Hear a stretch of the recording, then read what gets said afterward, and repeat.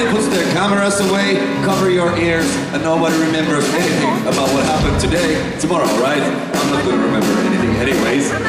But I know the people in Dresden, you love country music, right? You know, we were in the hotel one night and we opened the TV and we saw this TV program called Musikantenstadl. Rockmusik. You wanna sing some country songs with us tonight? Play that country music.